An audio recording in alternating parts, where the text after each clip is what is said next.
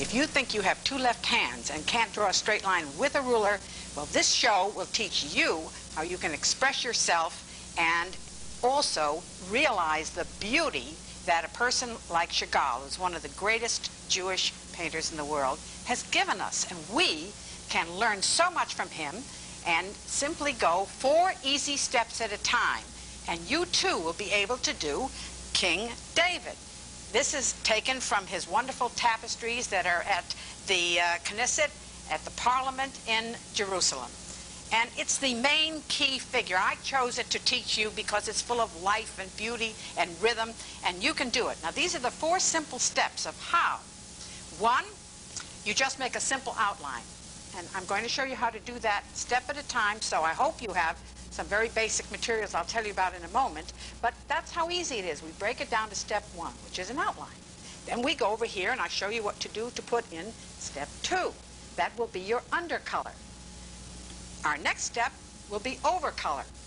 And on these overcolors, we start to see it shape up and come to life, just as you will when we start with this blank canvas in just a moment.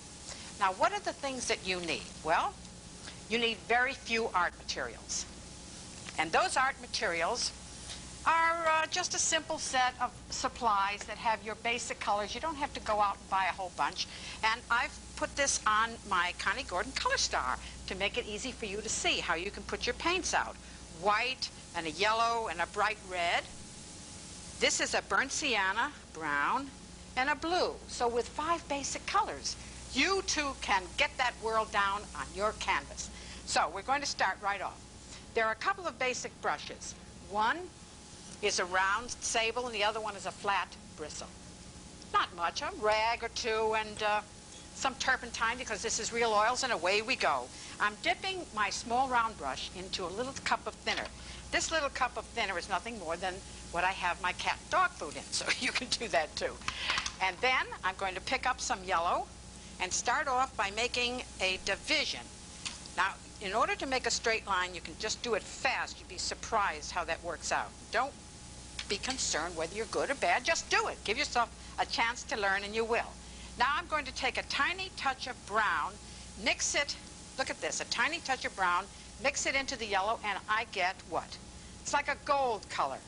And that's what I'm going to use to make the outline. Now, the outline we keep very, very simple. We kind of box it in like that, and then pull it down, make a round so we get the rhythm of the hands and the whole body. I need some more thinner. I'm coming down here and get it. And continue the rhythm around like this.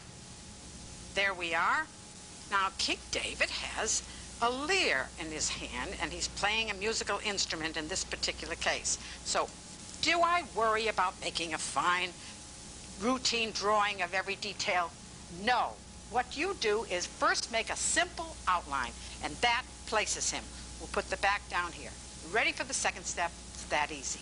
We're going to switch to a bigger brush in order to cover the canvas. Now you can do it a couple of ways. You can take a tube of white and spread the undercolor around with the tube itself, getting a little bit of white here and there. You can take a knife, that's another handy tool, and just simply spread that around. We do that to save time. See, I'm going over the uh, general outline now. I don't need that. I'm just going to leave the actual figure of King David and move this all around, get it on the bottom. That's the second step. A little bit here and there. Notice, I'm not precise. I don't worry so much about it as most beginners do because you don't have to. Just give yourself a chance to learn and you will. All right, step three. We're already into that. We're going to take our overcolor, starting with the lightest one first. Which one is that? We've got white. So the next one is going to be yellow. So we just dab yellow around, and we fill it in in the top here for the crown, and down in here, and a little bit over here, and a little bit on this side. Just dab. That's all dab. Next step, we're going to take a little bit of the blue. Not too much, and put the blue over here, which is going to be the indicate the area for the uh, hair and the eye. And if you'll notice, there's just a wee little bit of blue because we're going to make it just as Chagall did. Beautiful colors indicating life and rhythm and love. And that will be a little bit of blue in the beard, which will turn to green in a short time.